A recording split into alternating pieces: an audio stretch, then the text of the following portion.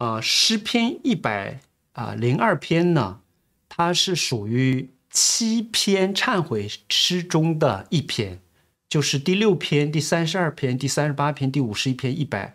零二篇，包括还有一百三十篇哈。那其中因为包含着这样认罪的这样的特点，所以被称为这个忏悔诗哈。那这个诗篇的主题主要强调了受苦和管教，往往是有与罪有关的这样的主题哈。啊，那这个诗篇的文体类型呢是是典型的个人哀歌。整个这个诗篇的背景呢是以贝鲁巴比伦为背景哈。那个时候，敬畏敬虔神人和呃恶人一同被掳离开家乡，也就是说，指以色列百姓当中这些敬畏神的人和那些不敬畏神的人一同被掳离开家乡，被掳到巴比伦哈。那这个结构呢，大体分为四个部分：一节到二节讲到呃祷引言性的祷告啊，然后三节到十一节和二十三节到二十七节就讲到了哀歌，然后十二节到二十二节是谈到了神的应许。最后呢，二十八节就谈到了这种结束性的一种展望、盼望哈。那首先我们来看引言部分。那诗人呢，借着这样的用词，就是说啊，来呃将他的祷告扎根于他所处的那个时代当中的啊那种礼拜的传统哈。这里面提到了我的祷告，我的呼呼求，不要掩面，在我极难的日子，求你侧耳。我呼求的日子，求你快应允我，等等，这都是他们当时礼拜仪式当中惯用的一些啊表达方式哈。那暗示了他这样的祷告呢，正好暗示了诗人可能处于某种急难，迫切的寻求神来听他的祷告，来实行拯救啊。这也是我们刚才谈到的和贝鲁巴比伦的这个整个。民族整个国家灭亡，他们被掳在异教徒的国家，在异国他乡遭人呃欺负凌辱的这样的背景当中的发出的祷告和叹息哈。那我们来看哀歌的部分，三节到九节和二十三节到二十七节是诗人描述自己的苦情哈。这里面谈到了啊，他描述我的年日在烟中消失。骨头如火把烧着，心如草被踩碎而枯干，肉紧贴骨头，难以入睡，如如同旷野的鹈鹕，好像荒地的猫头鹰，房顶上孤单的麻雀。我的仇敌整日辱骂我，向我叫好的人指咒我咒诅诅咒。我吃灰烬如同吃饭，我喝我的我喝的呃有眼泪掺杂。等等，那实际上这是表现了不同层次的这个诗人的这样的悲惨哈。十节里面表明了他自己遭受这种痛苦的原因，乃是出于神。十节里面说到，说到什么呢？说到这都因你的恼恨和愤怒。前面描述了他各种痛苦，比如说啊，他内心的，然后他身体上的，啊，包括他肢体上的。等等，甚至他难以睡眠，甚至因着呃担心仇敌随时攻击他，昼夜难眠，保持警觉，不敢睡觉。像呃这个荒地的猫头鹰，什么房顶孤单的麻雀，旷野的鹈鹕，都是那种孤苦伶仃、孤单，嗯，在那里状态。他在那种高度压力、随时被人攻击的光景当中，保持警警醒，他那种无法入睡等等。他吃的，他喝的，等等，当然有些夸张和比喻的这样的说法。总之，就描述了他身心灵遭受着极大的这样的困苦。在这样的情况下，他他虽然遭遇这些，但是他明确的意识到自己所遭遇的这些灾害、受苦的原因乃是出于神，这都因你的恼恨和愤怒。你把我举起，又把我摔下。这里面诗人仍然保持了信仰，哈，他这个诗本身也是一种在神的面前叹息和祷告嘛，求神帮助拯救的嘛，所以基本上前诗人是属于敬敬前人那一伙的那一类的，他仍然对上帝拥有信心，而且正因为这种信心，当然这种信心是基于对上他对上帝律法、对上帝过去的启示和经历的认识，所以他。意识到今天他所遭遇的是出于神。这就是信仰人、敬虔人和和恶人和不敬畏神的人的一个非常重要的一个差别。敬虔人或者是有信仰的人、信上帝的人、敬畏上帝的人，他们会透过他们所遭遇的，能够看到神的护理，看到神的引导，看到神的作为。他知道这一切，纵然他有眼前所看到的敌人对他们的欺压和掳掠、嘲讽。他因此而受苦，但是他深深的知道这一切都是出于神，他知道是上帝向他们发怒，他知道，呃，是上帝恼恨。那为什么上帝恼恨，把他举起又把他摔下呢？举起象征着上帝对他们的恩待，以色列百姓，我们也之前也多次谈到过，那是上帝。在整个人类救赎计划当中，在救赎史过程当中，曾经先拣选的一个民族，神拣选亚伯拉罕这一家，向亚伯拉罕个体应许，应许给他和他的所有将来的后裔。那后来以色列百姓经过出埃及，然后在埃及形成了一个大的民族，然后在神的带领下，纪念神与亚伯拉罕。呃，所立的约就把他们带出埃及，让他们得以自由，在旷野，在西乃山下与他们立约，赐给他们律法、礼仪、祭祀的制度、节期等等，让他们做万民当中的祭司，是圣洁的国度，是属于神的子民。上帝就是他们的神，他们就作为神的子民，美好的诸约、恩约都在他们的身上。但是他们却不专心跟随神，去追随偶像，随从自己的私欲，在旷野里面就开始背逆神、抱怨神、埋怨神、不信神，甚至即便是倒闭在旷野，新生代在约书亚带领之之下进入迦南地之后呢，他们不久就迅速的堕落腐败。约书亚和那一代的长老在的时候，他们就敬畏神，结果那些。真正经历神、认识神的啊长老和领袖们不在之后，这些不认识神的新生代就迅速的去随从了他们没有赶出的那个迦南七族的恶俗，去通婚，去随从他们的偶像，随从他们的文化，不专心跟随神。他们亲自经历了出埃及那样那样巨大的、那么震撼人的那样的救赎的事件，因为出埃及记。那个时候，二十岁以里的人已经经历出埃及了嘛，在旷野四十年到进迦南，二十岁以里的人成长成为新生代，包括在旷野当中出生的嘛，所以他们很多人是目睹了，呃，出埃及的这个事件，他们也经历了在旷野里面上帝如何惩戒那些不敬虔人和帮助他们战胜敌人，以及眷顾、引导、看顾他们这样的诸多的恩典，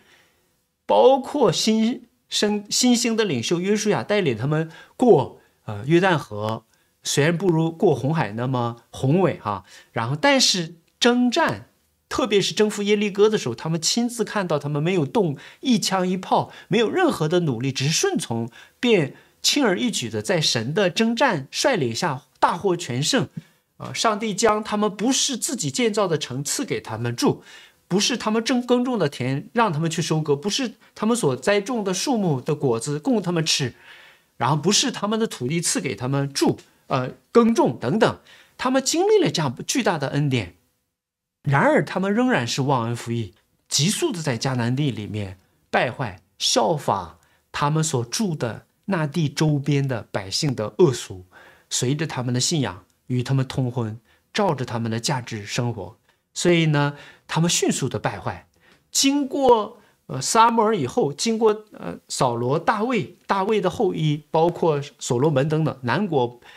南北王国分裂之后呢，北国在公元前七二二年就亡国了哈。南国犹大呢是在呃主前五八六年，也是最终我亡国哈，被掳到巴比伦。在这样的情况下，为什么被掳呢？在历史当中，我们透过先知书啊，从啊历代志、列王记，我们可以看到，根本原因就是以色列百姓同样的原因哈，就是拜偶像、不敬信、不敬畏神、不专心遵从神，所以上帝就严严的去管教他们，以至于教他们交给那些不敬畏神的那些异教徒、那些外邦人去任意的去掳掠、欺压他们。如果我们呃读，虽然圣经里面没有给我们提供太多的资料，透过历史和其他的文献，包括圣经里面一些描述，我们可以看到巴比伦过来掳掠他们的时候，实行了极其残暴的掳掠，哈。把他们的孕妇抛开，摔死他们的婴孩，甚至将他们的成年人掳去，贵族掳去，然后甚至剜掉他们王的眼睛，或甚至将他们的圣殿拆毁，烧毁他们殿，把殿里面的所有的金银器物都掳走，然后留下一些最困难、最贫穷的人。总之也没有什么能力嘛，让他们在那里啊去留守哈，所以那个地方就彻底的被他们摧毁。因此呢，以色列民族遭了极大的羞辱，极大的啊灾难。原因很简单，就是他们的不专一，跟从神，去不听从神的话。上帝曾经借着先知，借着他的仆人，多次多方的去警戒，去提醒他们。但是这帮人呢，就是活在那种小康生活当中，都是拥有梦想的人哈，都是现实主义者，都是享乐主义者。他们懂得如何对自己在今世短暂的像像知了一样短暂转瞬即逝这样人生当中，如何去利用有限的时间去享受快乐？所以他们把上帝的话当做耳边风，结果他们以为现实，他们以为他们赚得了他们要赚得的一切，认为那些金钱人突然洁净他们的心，那些金钱人是不懂得生活、虚度光阴的。他们是现实主义者，哈，他们最懂得如何去处理各样的利害关系，他们最懂得如何去利用有限的时间和各种资源去赚取最大的快乐、今世的快乐和幸福。结果呢，最终正因为他们的属灵里面的盲目和愚蠢，结果最终带来了整个通国的啊灭亡。所以弟兄姊妹，我们看到最终他们被掳，然后在。啊，远离他们所上帝所应许给他们列祖的那个圣地啊，那个殿。当百姓不再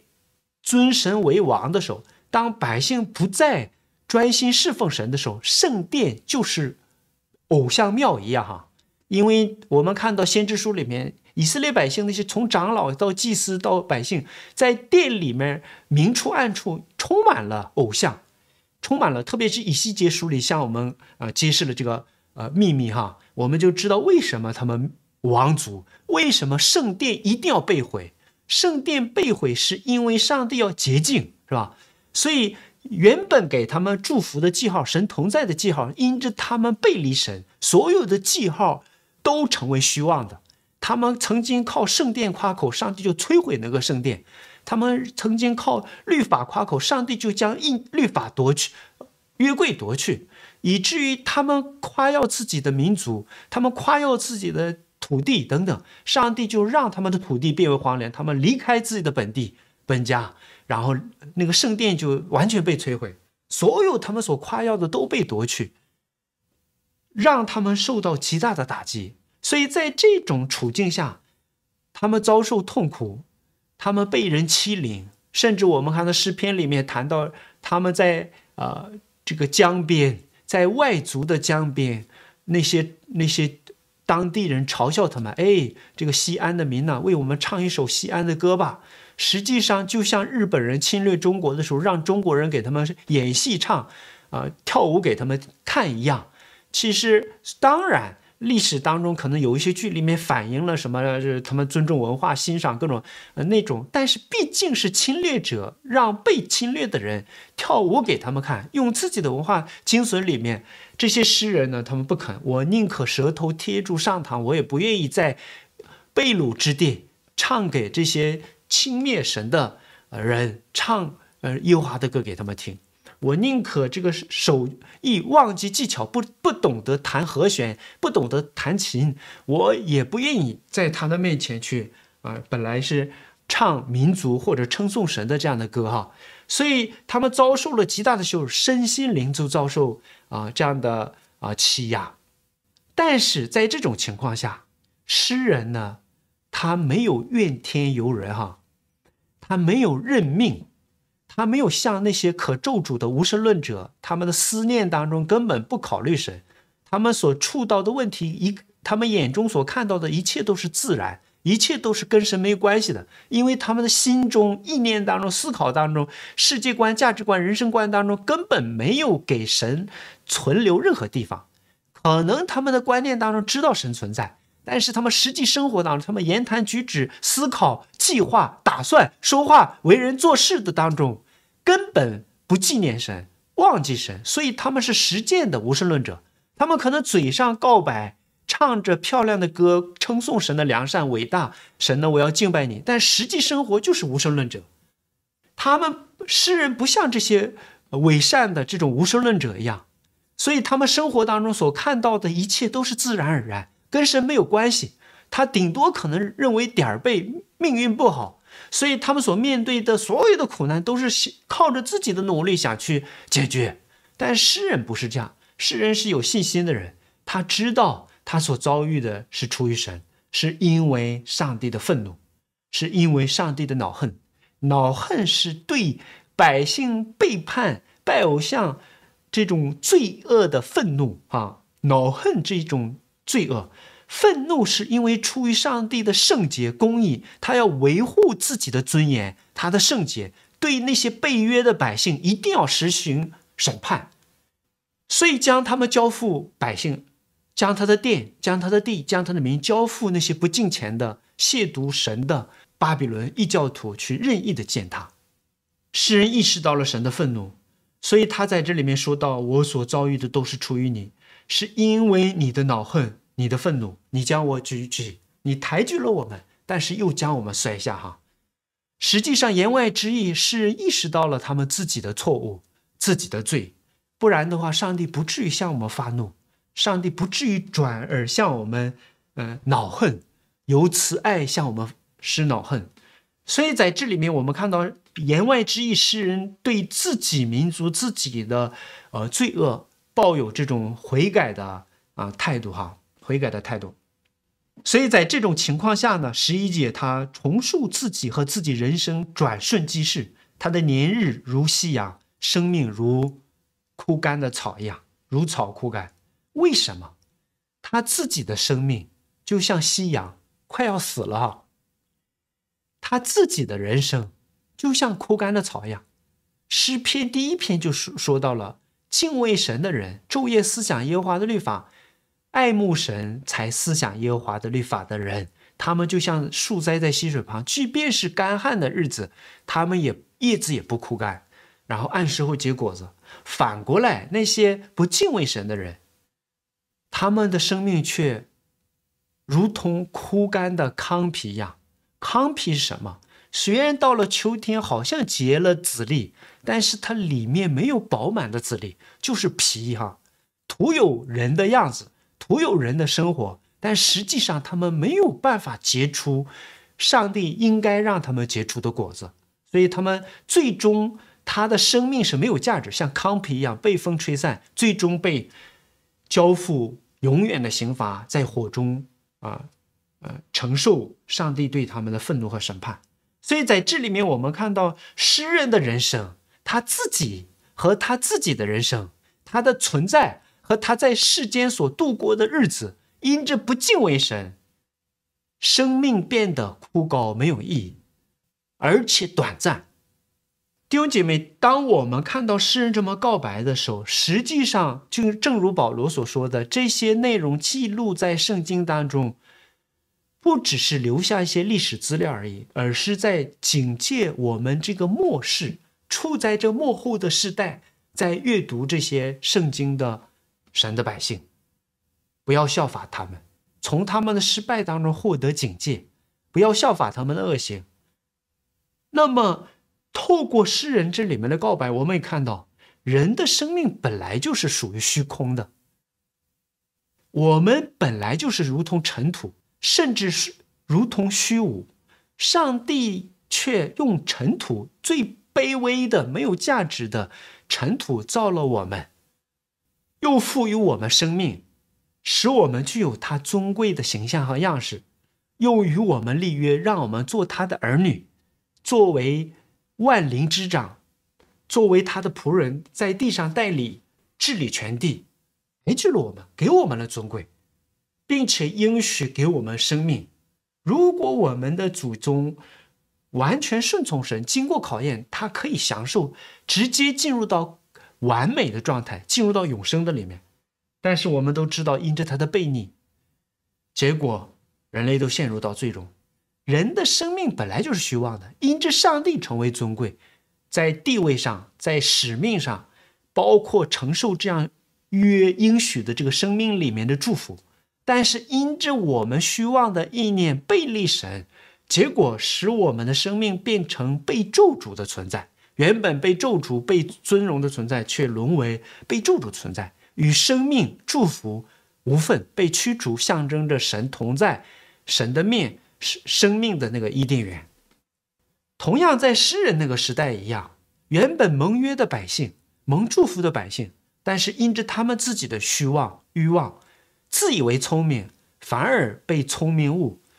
自以为赚得了一切，却失去了真正的祝福和真正的生命，他们自己的生命就枯槁，所以他们努力赚取，但是他没有幸福，身体上也出了问题，精神上也出了问题。睡不着觉，整个人生都活在一种被神咒诅、不谋神祝福的生活当中。一个人再聪明、再努力，如果生活不蒙神祝福，他所有的人生肯定不会开心哈。精神上、肉体上、物质上都会出问题，而且他的人生也是转瞬即逝。即便蒙神祝福的人，其实人活着不在乎生长寿与短哈。活得多久？虽然我们中国传统的文化，包括全人类的本性里面，都是盼望财富、健康、长寿，这是祝福。没有一个民族觉得短命是祝福哈。但是从圣经的角度，一个人蒙神祝福，无论他的活的寿命长短，他活的品质很重要。我们中国传统当中说，祸害活千年。活千年的恶人又有什么益益处呢？最终还不是在罪恶神的愤怒当中浑浑噩噩的活一生，最终还受永远的地狱的刑罚。但是艺人虽然他生命短暂，如同流星，但是他活的价值是蒙神喜悦和祝福的。他的短暂的一生当中是是蒙神喜悦的，他对别人的影响也是善的，那他将来也是有神的保障和应许的福气伴随着他们的。但是世人呢，因之不敬畏神，整个民族蒙神咒诅，他的人生却短而苦，变得毫无意义。大家在读圣经的时候，我知道很多弟兄姊妹很喜欢读圣经，但是很多弟兄姊妹发现他们读圣经却读不懂圣经。你在读列王记的时候，你在读圣经的时候，你读到了什么？你不要只是记得哪年哪月哪日哪个人做了什么事，当然那个重要，那是了解圣经的一个基本。但是圣经记载那些事情到底在说什么，而说的那个内容到底有没有提醒你、警戒你？如果你读了还在还在重复圣经当中失败者的足迹的话，说明你没有读懂，你没有真的履行圣经当中的教训。你好像在每一天尽着基督徒的本分在读经，你满足于哎，我每一天都做 Q T 灵修读圣经，但是你根本没有听圣经的话。纵然你从圣经里发掘了一些安慰自己的话，但圣经真正要向你说的话，你却没有听懂。那个王，那个亚伯拉罕，为什么当他生了以实玛利之后，他听了妻子的见解？娶了他的那个使女同房，生了以实玛利之后，那个几十年的时间却没有记录。为什么那些王，他们记载了他所行的恶和他最终的结局？圣经作者在那最后给他评价，关键就是他有没有效法他祖大卫，专心持守神的话。善的王都是以大卫为标准，恶的王都是以耶罗波安为标准。哈，终生没有离去离弃耶布兰王昂耶布耶罗波安王的那个恶那个罪。所以弟兄姊妹读这些事情，我们不只是读那些以色列人历史上的事情啊，都在读我们自己，我们的人生是怎么过的，都是在写我们自己哈。所以在这里面，我们看到他因他们因着背离神、不守神的约、不忠专心跟随谁，效法世界、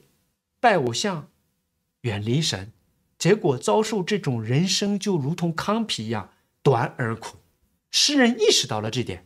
我们的人生在虚度，我的人生充满了痛苦，我自己和我的人生转瞬即逝。他开始悔改，哈，悔悟。二十三节。他使我的力量半途衰弱，使我年日短少。好像还活着，但是身体却衰衰残了，心力却憔悴了。好像还活着，他感觉到他的生命正在枯槁，寿命在减少。这就是一个离开神的人，他主观上要经历到的感受。好像在活着，但是生命里面没有祝福啊。诗人的思，诗人思想自己遭遇出于上主，并求神恢复，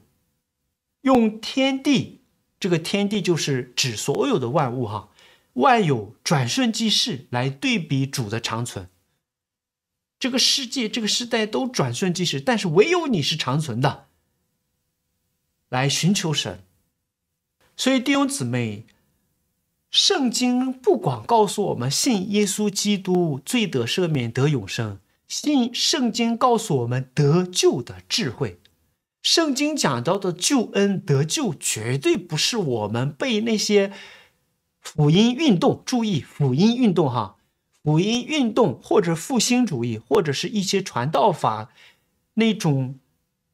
被约化的福音的概念，或者是救恩的概念。得救只是关乎罪得赦免、灵魂上天堂而已。圣经里面讲到的救恩是所有的罪从罪和罪的所有的影响力里面脱离出来，带领我们进入到生命和更丰盛的生命里面，进入到完全的里面。这是救恩哈。圣经里面提到的救恩，不只解决罪和罪的影响力，脱离罪的辖制以及罪所有的后果。那今天呢，我们。信耶稣罪得赦免，呃，耶稣基督的宝血洗净我们。但是这个救恩在正在进行当中，还在持续当中。不仅要救我们脱离定罪，不仅要救我们脱离死亡的权势，还要救我们脱离罪的影响。我们活在这个世上，持续有腐败性嘛？罪在影响我们，干扰我们。有的时候我们会屈从，有的时候我们会胜过他。神的作为不只是涂抹我们过去的所有的罪债和罪的记录，还要救我们脱离今天不被罪恶辖制，不要效法这个世界，只要心意更新而变化，让我们能够胜过这个世界，得生命，且得的更丰盛，直到将来基督来的时候，彻底的救我们脱离罪的环境，我们这个身体里面的败坏也被除去。这个世界也要叫被更新，所有的罪恶环境也改变了，然后带领我们真正进入完全，那是目的。当然，我们不能因着啊保障将来这个已经进天国的保障了，所以我就躺平。真正这么想的人，他要警醒，他要小心。第一，他是不是真正明白福音？有的人可能骗他们，以为这是福音，结果他就以为信了，他出于无知，他就这样似的。但是第二。如果不是第一种，第二种，如果你真的认为我只要进天堂保障了，反正已经拿到门票了，该这个我就可以在今今世吃喝玩乐，肆意的放纵犯罪的话，你要小心，你可能没有得救，因为一个真正得救的人，上帝给他了一个新的生命和新的性情，会让他渴慕追求完全，这是生命的特征。那第三种可能，你虽然得救了，但是可能长期顺从肉体的情欲，顺体贴肉体，陷在各种罪中，以致你的良知麻木，可能你对属灵的事物已经失去了感觉，不再爱慕。圣经里面纵然蕴藏着诸多的钻石、宝石、宝藏、应许，但是对你已经没有吸引力了。对你吸引的可能更多的是肉体的快乐、情欲、男女的关系。物质、财物，所以我们到底属于哪一种呢？上帝可能今天因为以色列百姓是上帝在地上拣选的一个特殊的一个模型，一个代表。上帝用让他们身体被掳到巴比伦来表明对他们的审判和刑罚管教。今天我们可能不会遭遇什么被掳到其他地方，因为我们也不是那种神政国家。但是我们可能属灵里面被掳，成为被斗遮住的光，成为失位的盐，成为被别人践踏、被人轻视的这样的存在。好像是基督徒在地上，却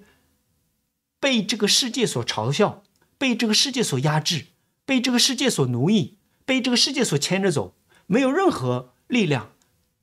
实际上就是被掳的状态。自己知道自己是信耶稣的，但是却不自由；自己知道上帝爱我，却没有办法回应对上帝的爱。好像活被释放了，却活在不自由的里面；好像得释放了，但是却过着一个奴隶一样的生活。这就是我们悲催哈！上帝应许的喜乐和平安，却体验不到，充满了内心的愁苦。被今生的思虑、钱财的迷惑、各样的厌乐，如同荆棘堵住我们的心，心里面没有办法涌涌涌现出那种属天的喜乐、救恩的喜乐。不是因为畏罪忧伤，不是因为属灵征战，不是因为寻求神的国、神的意，不是自我鞭策自己依着神的意思忧愁，而是依着世俗的忧愁。所以那个愁苦就刺透了我们的心，好像活着，但是却十分痛苦。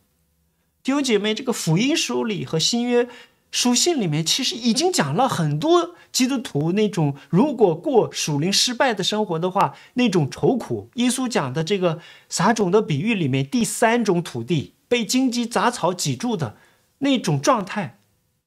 保罗所讲到的。那种被世俗的忧虑和愁苦所缠累的那种状态，那个不是离我们跟我们无关的，只是记录在一本书里面的，那是都在讲我们时时刻刻可能会体验经历到的。或许你我正处在这种关键当中。那讲这些为什么？不就是警戒我们不要落到那种光景里面吗？万一我们落到了里面怎么办？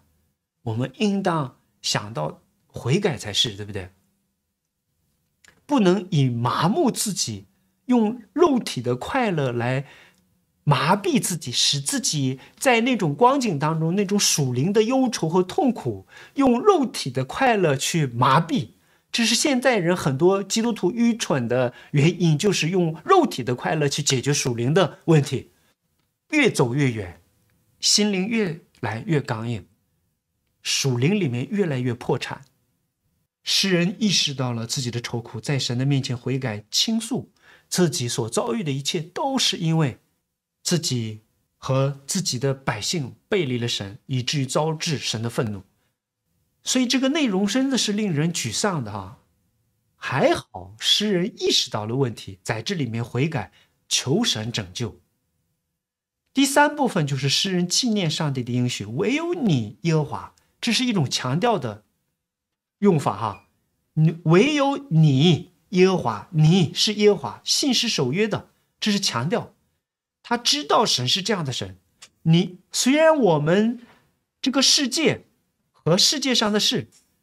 虽然我们因着背离你，我们的生命变得虚妄无益，如同枯草，如同夕阳斜下，但是你却永远坐在宝座上。你永远掌权，你的名存到万代。我们虚妄远离神，在神的愤怒和里面的人生和我，我们的生命和我们的人生是那样短暂和虚妄。相比神，我们的虚妄的人生对神丝毫没有影响。虽然我们亏欠神，亏缺了神的荣耀，本来应该荣耀神，却没有荣耀他。但是我们的罪恶对神本体没有任何影响。不要以为我们犯了罪，好像上帝就掉了一块渣，上帝的生命减少了，上面的权威就减少，上帝的这个本体的荣耀就损失了。上帝本身不被任何被造物影响，但是在约里面，我们可能辱没上帝的荣耀，所以在这里面，上帝永远掌权，永远做宝座，他的名是万代的。比起世人的苦短，形成了这种鲜明的对比哈。你必起来怜悯西安。诗人确信上帝的怜悯，这是诗人在困苦绝望当中唯一可以依赖的，就是神的怜悯。上帝啊，你因着你是信实的，因为你的怜悯不是因为我们哈，你为着自己的名，你一定会怜悯西安。现在，因现在是可怜他的时候，诗人可能是读了耶利米先知的这个预言哈，知道七十年被掳七十年之后，上帝转而要施恩怜悯他们，借着毁灭巴比伦，然后重新，呃，利用波斯，把他们应许让他们重新释放回到啊应许之地，然后重建家园，重新恢复信仰，重修祭坛，重修城墙，重新恢复礼礼拜等等，恢复他们。这是上帝因着他自己的怜悯啊！若不是上帝的怜悯，我们早就灭亡了。我们不至于灭亡，乃是因着他的怜悯。以利米哀歌里面讲到的哈，那今天你我岂不是也一样吗？如果照着我们今天生活的实际情况来话，十八层地狱，如果有三十六层地狱，恐怕我们也得遭受那样的痛苦啊！真的，我们很顽梗的，很悖逆的。我们听这个世界上的事情，我们对所有非上帝的事情，什么奇闻怪事儿，什么关于自己的利益啊，这个东西我们都是熬夜都不打盹不睡觉的哈。但是关于神的事情，莫名其妙就打不起精神。对世俗的事情，充这个双核的、八核的、三十二核的，充满了智慧。但是对属灵的事情却奇怪的迟钝愚蠢。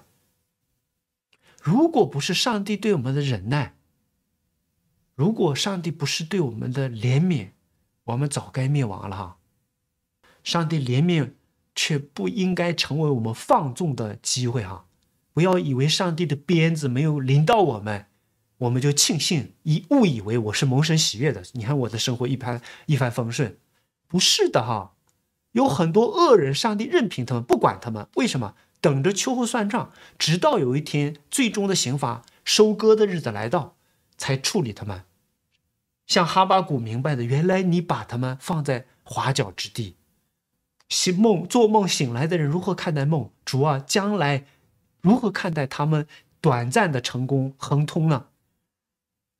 所以弟兄姐妹，今天生活里面还算过得去，不要庆幸，好像我们可以肆意的践踏神的怜悯，好像上帝恩慈以至于永远宽容我们，上帝一定会按照公义审判。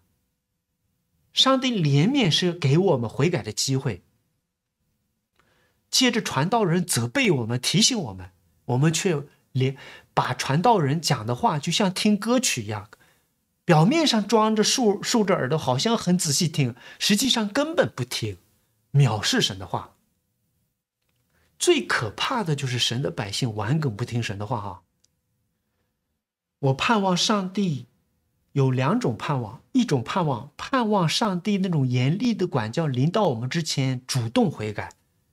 因为上帝已经借着他的仆人多次警戒，仍然顽梗悖逆的话，上帝一定会。管教他所爱的儿女，我盼望在神实行严厉的管教之前，我们早早的悔改，作为聪明的智慧的儿女。第二，我盼望宁可我们被打得遍体鳞伤，灵魂悔改，也不要让我们肢体健全的下地狱。趁着今天还有气息，趁着还有活着，就是有悔改的机会；死了就永远一切就拍板钉钉了。死了，再也没有悔改的机会了。你悔改也没有用了，因为已经看见神的愤怒和刑罚临到你了。那个时候已经没有，只有我们在灵魂还在身体里面，在今世活着的时候，听见神的话，神劝勉我们的时候，悔改才有效。已经看见了，你说哎，我悔改，那个时候谁都会知道神真的是严厉的，对不对？已经看见神的愤怒和审判了，那就不是信，那个悔改。只能是哀嚎、后悔而已，没有用。所以趁着今日还有悔改的机会，我们应当悔改才是哈。诗人在思想上因先知论及新约时代的预言备受鼓舞，提到了赦免、圣约的更新、百姓归回的应许、归回应许之地，标志着这个新的时代的到来。当诗人仰望主的应许的时候，这一切记在眼前。仰望神的应许，可能是读了这个耶利米书二十九章十节的内容哈，然后他就好像神的恢复、神的复兴、神的应许马上即可临到一样，所以他提到了这个西安。西安是象征着这个恩约的观想，原来是指那个地方西安山、西安城，然后后来我们看看，渐渐的西安是象征着神的百姓哈，盟约的百姓。并透过涵盖一切的特权，西安象征着恩约的关系，象征着约里面所包括的一切特权啊，包括物质和属灵的。作为末世的象征，西安对于那些重视神国度降临的百姓而言，那个福祉是真实的哈。这里面说仆人，是指那些忠心的渔民，渴望重建耶路撒冷。唯有你，耶和华永远坐在宝座上，你的名存到万代，你必起来怜悯西安，因。现在是可怜他的时候。你的仆人喜安喜爱喜安的石头，可以简单的理解哈。那些真正忠心的渔民，他们当然仰望神，确信神的应许，当然羡慕神的应许和神的应许之地，遥仰望耶路撒冷，盼望重新回到那里，盼望西安重新得以建立。西安的石头，因为神的应许，因为敬畏神，因为确信神的应许，所以他们相信那个应许的地，切慕那个应许地。他们也铭记，就像所罗门所提到的，就像《生命记》里面所提到的，无论他们将来被掳到哪里，在被掳之地，遥向着那个应许的地，是你的殿虽然已经被拆了，那个地虽然已经变荒凉了。向着那里祷告，因为神立名的地方曾经立名。当他们仰望那个地的时候，就意味着他们相信神的应许，凭着神的应许向神祷告的时候，悔改的时候，神就垂听嘛。所以那些真正纪念西安的、恋慕他的，其实就是真正信上帝的人、敬畏上帝的人啊。今天有多少基督徒记得礼拜的时间呢？今天有多少基督徒记得主日的时间呢？今天有多少基督徒纪念主啊？在生活当中时常思念主啊？学着学着习，为了成绩把主先丢在一边哈，那个不是正常的信仰生活。忙不是我们忘记神合理的借口。上帝所期待的是让我们带着敬畏的心、爱他的心去。带着基督的平安去忙，别忙着忙着，就像小猴子下山一样，像黑瞎子掰玉米一样，忙着忙着，结果丢了耶稣。纪念神，不忘记神，就像这些忠心的仆人纪念西安一样，思慕西安一样，不只是思念那个西安的墙角的石头而已，因着神，他思念神。和神有正常的关系，所以他盼望爱慕神的应许和祝福嘛，对不对？带着对预言的应许的盼望，诗人超越这个城市。虽然现在还仍然痛苦，仍然在被掳之地，但是他思想恢复之后的耶路撒冷，在列国中那个荣耀和尊崇。他不只是求神拯救他自己，他也求神恢复西安的荣耀，恢复神的荣耀，甚至列国都来敬拜神。所以，诗人这里面个人的哀歌渐渐扩充到整个民族神的国。这个神的国里面不只是包括亚伯拉罕的后裔，亚伯拉罕肉体的后裔。亚伯拉罕后裔里面包括肉肉体里面选民和非亚伯拉罕血统里面的亚伯拉罕的属灵的后裔。哈，亚伯拉罕之约里面包含着犹太人和外邦人。最后呢，我们看到他的盼望，最终的恢复救恩，安然居住。后裔坚立在神的面前，这就是上主因着他自己的怜悯、信实，最终成就自己的应许，使以色列得以得救，并且安然势立在、站立在上主的面前。你的仆人的子孙要安然居住。